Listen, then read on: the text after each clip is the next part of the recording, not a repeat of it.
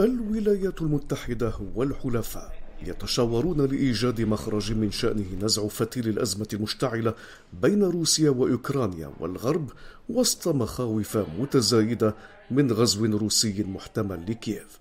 وزير الخارجية الأمريكي أنتوني بلينكن التقى في برلين نظيريه الألمانية والفرنسي إلى جانب وزير الدولة البريطاني لشؤون الشرق الأوسط.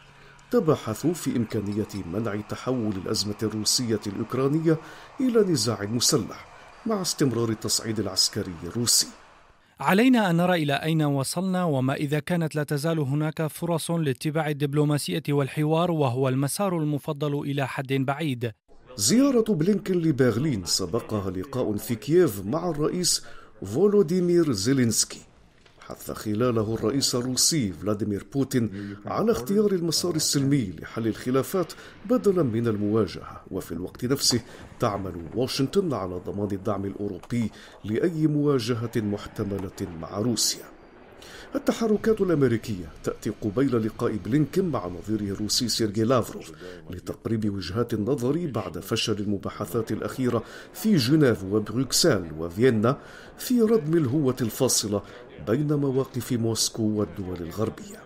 آملوا بشدة بأن نتمكن من إبقاء الوضع على مسار دبلوماسي وسلمي لكن في النهاية القرار يعود إلى الرئيس بوتين. يرى خبراء دوليون أن المساعي الأمريكية الأوروبية لحل الأزمة الروسية الأوكرانية تصطدم بإصرار موسكو على أن مطالبها غير قابلة للتفاوض.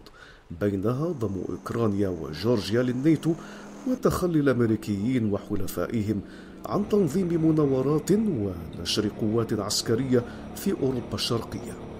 الأمر ربما يتجه نحو التصعيد خاصة بعد تحذيرات الرئيس بايدن لروسيا وتنديد الأخيرة بشأنها بالإضافة إلى تخصيص واشنطن 200 مليون دولار من المساعدات الأمنية الدفاعية الإضافية لأوكرانيا.